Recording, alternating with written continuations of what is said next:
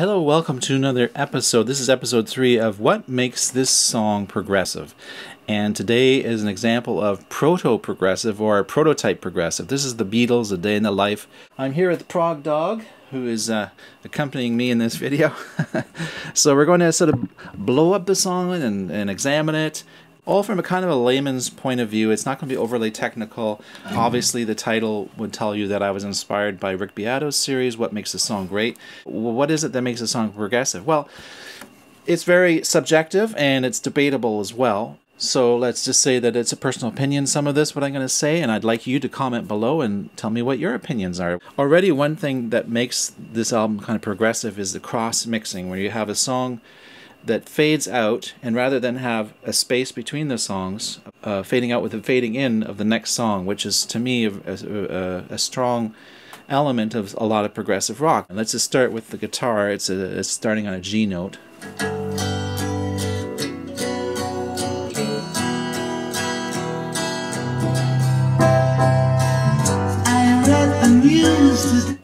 So let's move along now. So we got the piano joining in and the bass, of course. Uh, I'll say one thing that really sets the whole tone of this song is uh, John Lennon's vocals, and as you know, he he always asked uh, the engineers to put more effects on his voice. He, his voice sounds almost cosmic.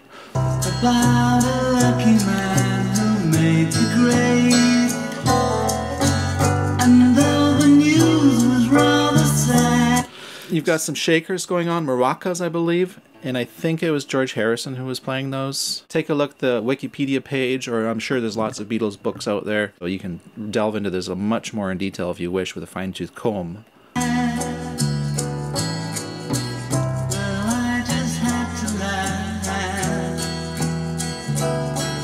Also, there's a sort of a conga going on there, or bongo is like a da da do da da do, just a little. So the song is starting off.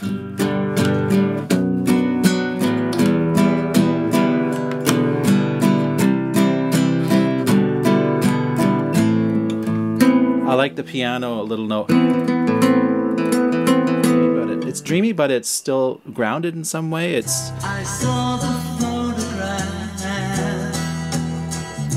Another thing is here, there you, there's a little variation on this verse.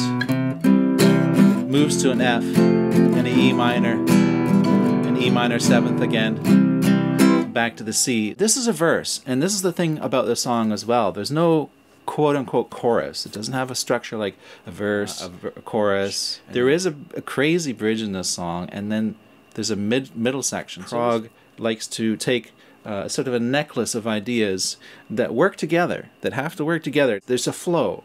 There's an intro and a verse so far, no real chorus.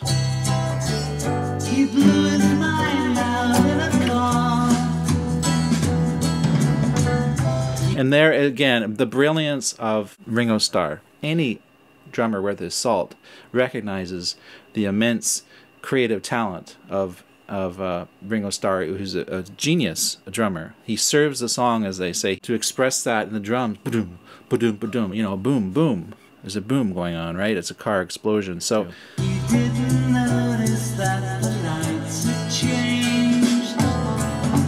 There it is. Now here, so this is where there's some variation here, but it's not a chorus. It's it's just like a little transient section part. It's a little, a kind of a mini bridge going on. He was house from the Lord. Now, I saw a film. I love the British accents. I saw a film. Sorry, I'm Canadian. I probably say things weird that you'd think are funny too. So here we have another verse going on. More brilliant drum work.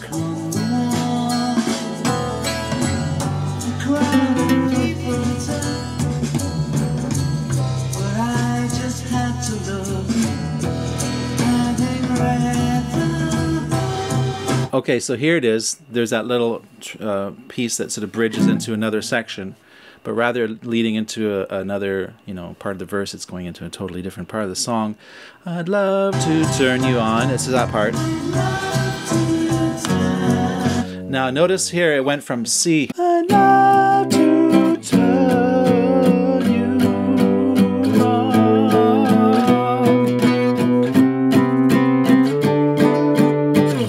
And then it stays on E. Stays on E, and we're going to hear the crescendo, the famous, you know, avant-garde orchestral kind of thing going on. You know what famous song, uh, being Canadian, uses that back and forth? I'll give you a second to guess.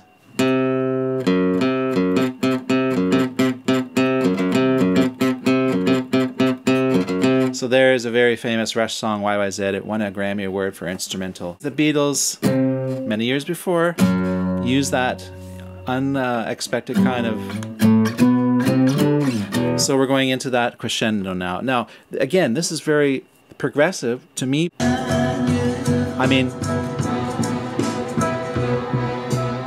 a lot of progressive music you're going to find has a lot of uh, dynamics in a song. The 80s progressive rock dropped a lot of the dynamics and it became just, you know, for example, uh, Genesis, very poppy, where it's just loud, right? Starts off loud, maybe there's a little quiet section here, a quick one or something, but just basically the whole song, like a lot of the music in the 80s, was all about loudness, in your faceness.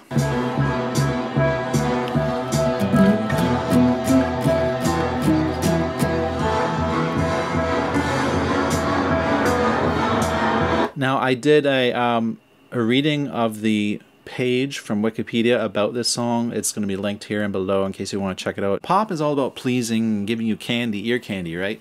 Progressive rock is not afraid to make you uncomfortable with odd odd uh, choices of notes, uh, with odd feelings. That just sort of makes you uncomfortable.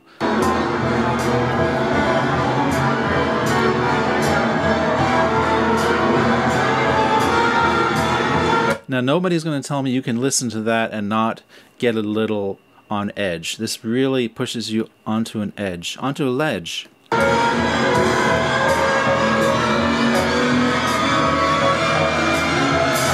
Also hilarious is the fact that even if I play this whole section, just that noisy section, you would get a copyright strike. So I just find it kind of weird. So there you go. The 24 bars are uh, up. They had their friend, I think his name was Mel, who was sitting there um, by the piano or something and just counting. And then he set off an alarm clock. I don't know if you're going to hear it here. Ah. There's the alarm clock. They uh, planned originally to, to remove that, but they thought it fit in perfect because listen to the lyrics. Got out of bed, dragged a comb across my head. Now, the beautiful thing about this marriage of musicians and talent and songwriting between Lennon and McCartney, you know, Lennon's more the brooder, and Paul is more the peppy, you know, go-lucky, uh, happy guy, which he still is to this day, I think. And.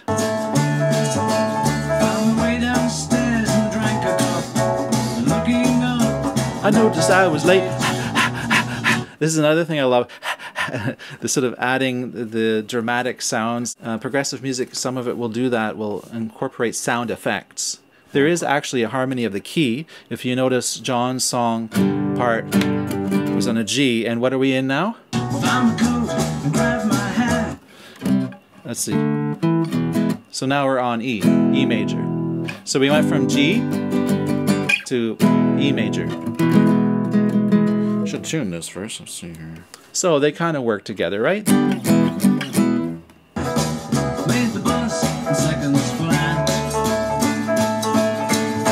The triplets are really nice. Do da da do do da do da da. Way upstairs and had a smoke. And somebody spoke and I went into a dream. Now, one thing I'll comment too about the percussion here. Obviously now things have picked up. It didn't go from a more brooding tune to more brooding. I went into this peppy part where you've got uh, the maracas or shakers are going on. You've got some conga I hear. I think there's some snare going.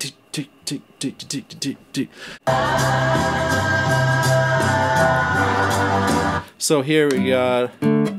Was it? Ah.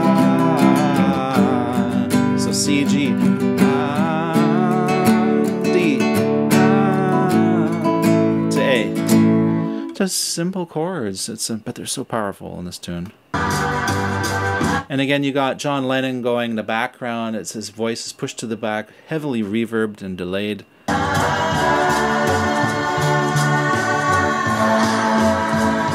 It's sort of like he's back there in a cavern or something, or he's falling down a tunnel.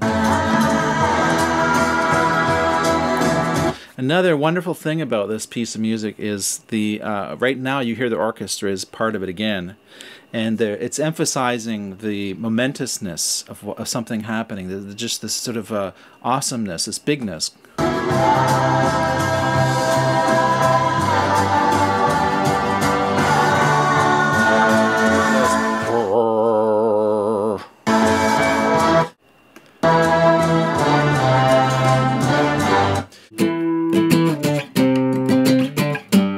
So that's our uh, our catwalk in from one section to another because we're in a different key.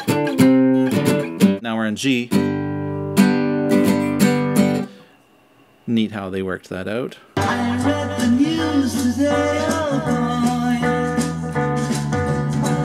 Also notice in this section now you've got a matching rhythm going on compared to uh, woke up got out of bed, I dragged a comb. You see, it's almost like they took that whole feel and transferred it into this next section, which was a brooding, quiet part, and but now it's got the whole band with it. It's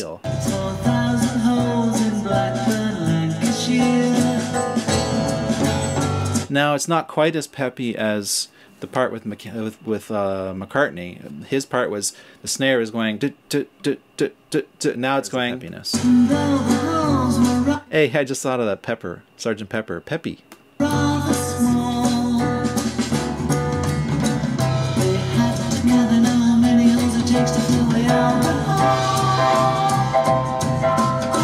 Love that.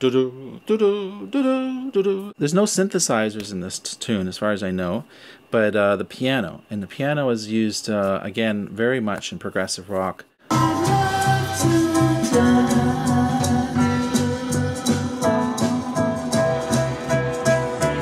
Now, if you listen closely, you can hear this guy, I think his name is Mel, if I get it wrong, sorry. But he's saying seven, eight, nine. He's counting right throughout.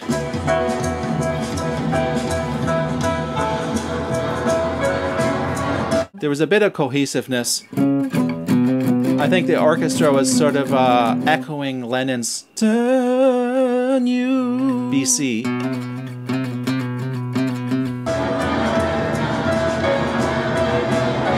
And then it gets stressful. I mean, imagine listening to this looped for for half an hour straight or something. It would turn you into loony.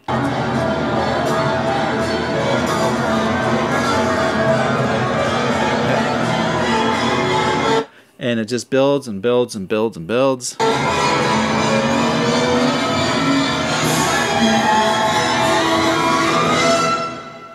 Now, that's not the end. Of course, you know there's that final chord, which is 40 seconds of what uh, turns out to be nine pianos. It's three pianos that are tripled up, but it's nine pianos. Lennon's playing one, Richard Starkey, as in Ringo, is playing the other and then there's maybe it was Mel, I don't know. This other lucky guy who got to be a part of music history is playing the E chord.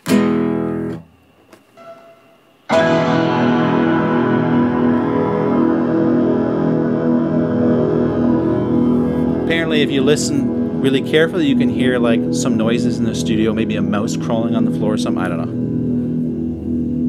Just fantastic. And who hasn't listened to that and just felt it. It's so powerful.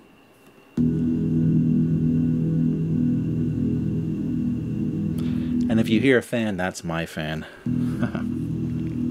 so there you go. Um, the end of the song. It's clearly proto progressive. If you compare this to the Beatles, I believe their first album was called Please Please Me. And they recorded it in one day. And that's it. That's the song. It's a bunch of songs. They don't really they don't really tie in together specifically. Whereas this album, Sergeant Pepper's Lonely Hearts Club Band, you've got the first song, and then it uh, which has sound effects just to begin with. It sounds like it's in, done alive, but it's not. And then it uh, blends into another tune, which is uh, from Sergeant Pepper Band to um, Billy Shears, they call him. It's Ringo singing a song. Then there's other songs in the album that have really just spaced out wild sounds on them, like the Mr. Kite and and then they have the reprise, so they reprise at the end of side two almost, and then it blends into this song. So to me, it's like a whole concept of an album. It's not you can't just cut it up in, into singles and, and distribute it and everyone make sense of them. Uh, they really it really felt like a cohesive unit. I can easily see how musicians got inspired by Sgt. Pepper's, and this sort of opened up doors to them where they're using a studio where they're doing the songwriting, they're in control, they uh, run the engineers, you know, they, they take over the engineering room. It's not like they go in there and just get do what they're told. Experimented right along with their producer Martin uh, George Martin. Think about the, the Pink Floyd, you know, uh, and The Wall, or Pink Floyd, Dark Side of the Moon. So, anyways, that's it. Thanks for watching. If you have a suggestion for another progressive rock or proto progressive rock song that you want to know what makes a song progressive and uh, you'd like me to put it in this feature it in the series, leave your comment below. Happy to get your comments. And that's it from from uh, Proto Prog Dog and Dean. We say spiraling out. Talk to you in the next video.